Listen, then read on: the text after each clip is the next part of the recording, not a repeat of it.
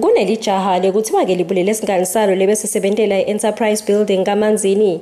Lokhu ke kubangele ukuthi ke bomake labasebentela e-Enterprise Building bakwate baganeke lona linwabo babhidlange lidolobha bathi ke umthetho kumele ke uthathe indzawo yabo labantu ke laba lababulala abantu besifazane kwamele basithole isifundo. Labo make bathi ke eh, lesigameko salomlingano wabo sibeke buhlungu kakhulu njengoba ke senteke nasembi kwebamfana.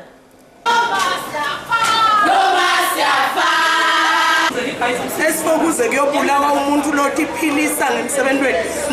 Kuze kuthi bantu bakhe balale badlile. Kuze kuthi yena azame ukuthi balale bafunze lapho kumbe kunconywana khona. Ngale mali lakayitholako lapha incane kakhulu. But bese umuntu ungibulalela lelide lekokuthi sikhona ekuhlila mina nemndeni wami.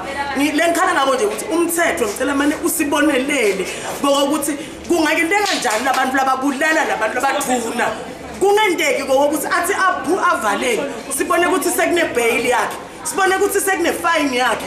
Sibekwaphi thine lesilimele ngaleso sikhathi? Kulabantwana lababonele sigameko kujubeka impilo yabo mina angikhanzi icubeka bantwana lengikhuluma kuthi nyalo babonile.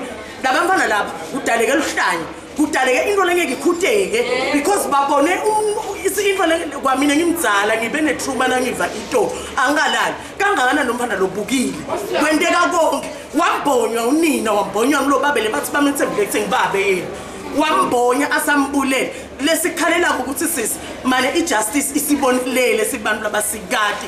Ngokokuthi inkosi yami akungathi umuntu abulele aphinde futhi aphume kusasa. You can't tell me ukuthi ngivuka umuntu emsebentini ngiyophanda asale endlini aphethe i-remote yena abukela i-tv ngibuye ngithambama akade ukuthi ngimphekele bese ulamathathu because yena ayingothi ngifela ini ngayo asemane umthetho sisibukelele Kuthiwa bebabangani laba lababili manje.